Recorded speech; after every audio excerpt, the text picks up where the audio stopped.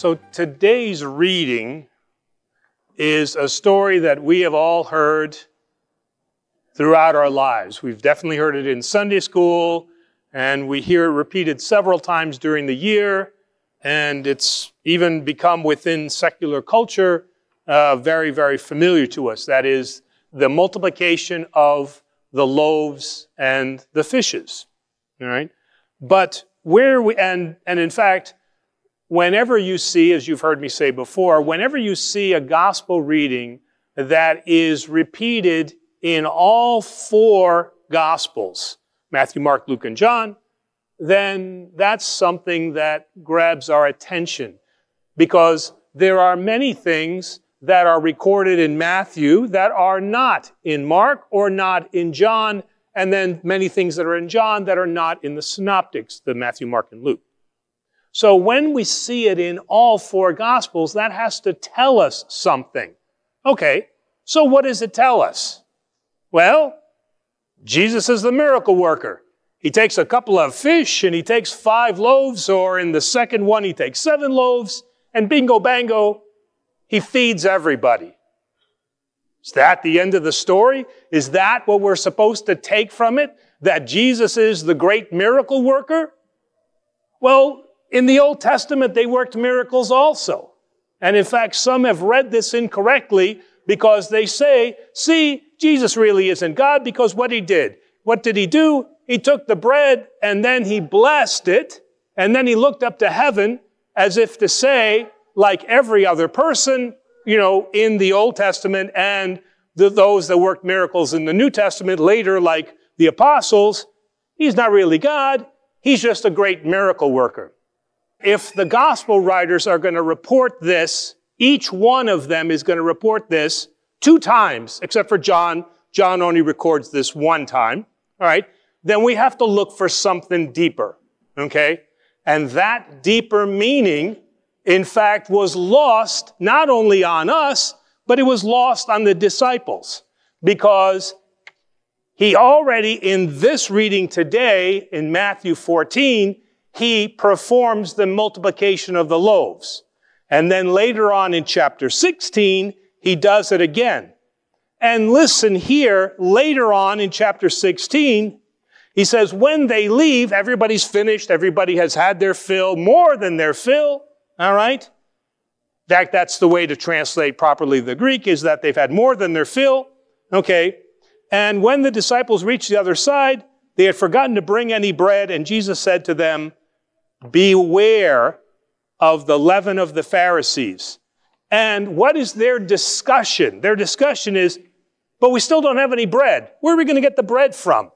And this is when Jesus kind of sighs and says, you know, how is it that you, and again, the Gospels write this, I'm picturing Jesus being a little bit more irate than this, but they put it really nicely here and they say, and it says, how is it you fail to perceive that I did not speak about bread? He's not speaking about just multiplying loaves. That's working a miracle. What he is talking about is something that is, he says in the Gospel of John, I am the bread of life. He said, Do you not remember that when you were in the desert and you were roaming around and you were hungry, God sent you manna from heaven. He sent you bread from heaven. And all of those people who ate that manna from heaven, just like in the, lo- the multiplication, they are dead. So that manna was not unto eternal life. Neither was the multiplication of these fishes and loaves to eternal life. But the message that is trying to be brought across here in this multiplication of fishes and loaves is not a mere miracle. It is Jesus Christ saying, I am the creator. I am God. I am the one now who offers you a bread from which you will never die. And so for us as Orthodox, the multiplication of the loaves has the deeper meaning that it points to the Eucharist. It points to that. And that, because if you listen to the words in the liturgy, it talks about when I, when I say, take, eat, this is your body, which is shed for you and for many and is overflowing. And that overflowing that we hear in the St. John Chrysostom liturgy brings us back to this, which says the, what, the bread and the loaves were multiplied so that there were more than enough for everybody that they had to gather up the scraps. We're supposed to connect the dots here.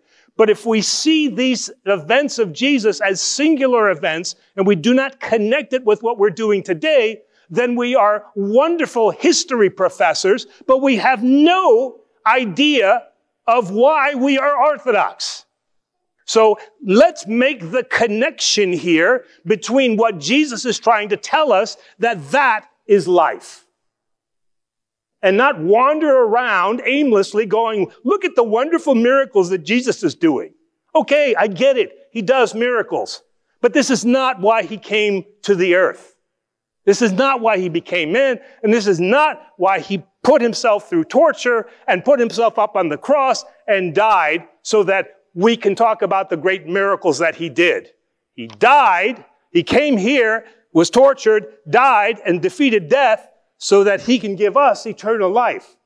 And that's how we have to connect scripture with the stories that we hear here of what he did, but always pointing in an orthodox sense to that and not as standalone stories that have no meaning because we can't make that connection.